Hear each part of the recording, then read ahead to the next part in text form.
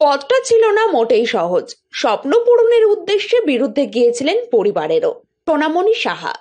এই মুহূর্তে বাংলা সিরিয়ালের অন্যতম জনপ্রিয় অভিনেত্রী তিনি। কখনো তিনি দর্শকদের প্রিয় মোহর, আবার কখনো রাধিকা। তবে দর্শকদের এই প্রিয় কথাটা শুনতে যতটা সহজ লাগছে, ততটাও সহজ ছিল না সোনামণির অভিনয় জীবনটা।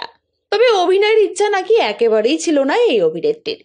জানিয়ে নিজেই জানালেন অভিনেত্রী সোনামণি সাহা। সেই সাথে প্রতীক সেনের সঙ্গে প্রেম বিতর্কে সাব জবাব সোনামণির। বিস্তারিত জানতে ভিডিওর শেষ পর্যন্ত যুক্ত থাকুন ইউনিক সার্চের সঙ্গে। মাত্র সতেরো বছর বয়সে মালদা থেকে কলকাতায় চলে আসেন সোনামণি। মডেলিং দিয়েই কেরিয়ারের শুরু। এই অভিনেত্রীর উচ্চতা বেশ নজর কেড়েছিল সকলের। সোনামণি প্রথম পরিচিতি পান র্যাম্প থেকে। ছোট পর্দায় দেবী চৌধুরানী তার প্রথম কাজ। দেবী চৌধুরানী মোহর আর এখন এক্কাদোক্কা। দর্শকদের কাছে তার জনপ্রিয়তা নেহাত কম নয়। আর এই জনপ্রিয়তা কিন্তু তার জীবনে তৈরি করেছে নানান বিতর্ক। সোনামণির জনপ্রিয়তা যেমন বেড়েছে, ঠিক তেমনই বেড়েছে তার ব্যক্তিগত জীবন নিয়ে কথাও। উঠে এসেছিল সোনামণি সাহার বিবাহিত জীবনের কথাও। কোরিওগ্রাফার সুব্রত রায়ের সঙ্গে সাত পাকে বাধা পড়েছিলেন অভিনেত্রী।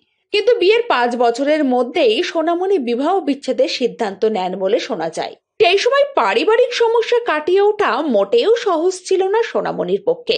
সেই পরিস্থিতি কাটিয়ে উঠে নিজেকে বিনোদন জগতের একজন করে তুলেছেন অভিনেত্রী সোনামণি সাহা। ব্যক্তিগত জীবনের এই সমস্যা ছাড়াও তার পরিবারের সম্মতি ছিল না সোনামণির অভিনয় করা নিয়ে। মাত্র সতেরো বছর বয়সে মালদা থেকে তার কলকাতায় চলে আসাই পরিবারের আপত্তি ছিল। ছোট থেকে সরকারি চাকরি করার স্বপ্ন দেখতেন। তার গ্লামার জগতে আসা নিতান্তই কাকতালীয়। মডেলিং দিয়ে যাত্রা শুরু করলেও এখন সোনামণি বাংলা সিরিয়ালের অন্যতম জনপ্রিয় অভিনেত্রী। যাকে নিয়ে বাংলার দর্শকদের আগ্রহের শেষ নেই।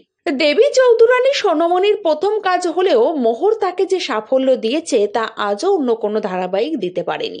মোহর শঙ্খ জুটির প্রেম বরাবর রূপলী পর্দাতে দেখতে চান দর্শকরা।